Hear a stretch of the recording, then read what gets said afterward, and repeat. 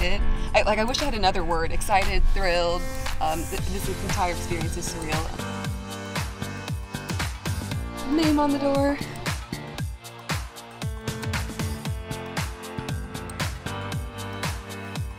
I'm here at AOL Build, about to go on for an incredible interview where I get to talk about being Miss USA and what I'm going to do with my year. For the first time in history, talking about great to see, mm-hmm. three black women are now wearing the crowns of three major national pageants. We are at CBS this morning. We're about to do an interview with Gayle King.